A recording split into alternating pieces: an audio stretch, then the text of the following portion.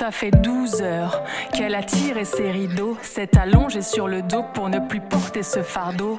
12 heures, elle est là sur son matelas, prisonnière de ses draps, son corps ne la porte plus, plus. Hier encore, elle était vive, elle était love de la vie ivre. Hier encore, elle était fière, sur ses deux pieds, elle était reine, sur ses deux pieds, elle était reine.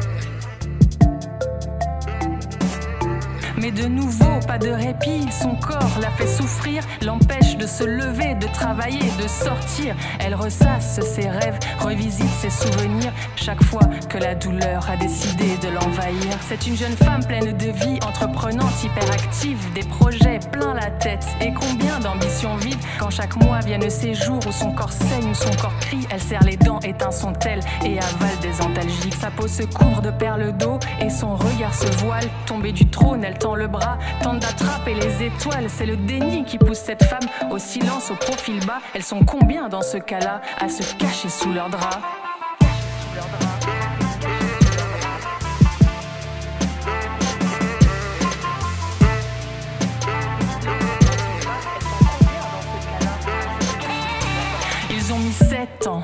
Pour enfin me diagnostiquer car pendant sept ans, personne n'avait rien soupçonné. On me disait que souffrir pour une femme c'est banal, qu'avoir mal pendant ses règles aux yeux du monde c'est normal. C'est dans votre tête, mademoiselle, m'ont répété les médecins. C'est dans votre tête, vous êtes douillette. Bah j'ai fini par y croire. Oublier que j'étais lionne, que j'étais forte, que j'étais digne d'affronter seule 30 jours par mois une maladie sans le savoir. Quand vient ce jour où l'on me dit que j'ai une endométriose, je ne sais pas trop s'il faut sourire ou m'en inquiéter en mode Je me renseigne pas de traitement. L'opération, on me propose pour enlever des bouts de moi sans garantie de changer les choses. Ils ont mis 7 ans pour enfin me diagnostiquer et pendant tout ce temps, l'endo partout s'est propagé. Planqué à l'ombre de l'ignorance de toute une société, la maladie dans le silence a continué de cavaler. Continué de cavaler.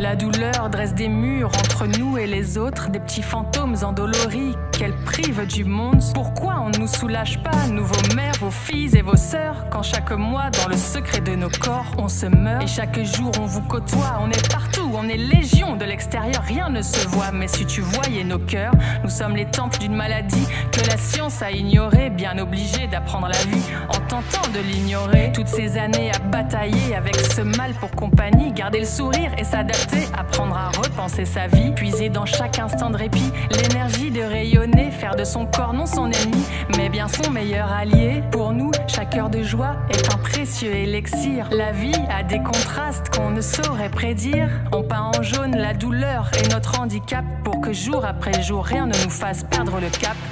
À toutes ces femmes qui se battent à l'ombre de l'indifférence, à toutes celles qui rayonnent malgré cette maladie qui ronge, à toutes celles et ceux qui les soutiennent de toute leur force, car c'est ensemble, les yeux ouverts, que l'adversité nous renforce.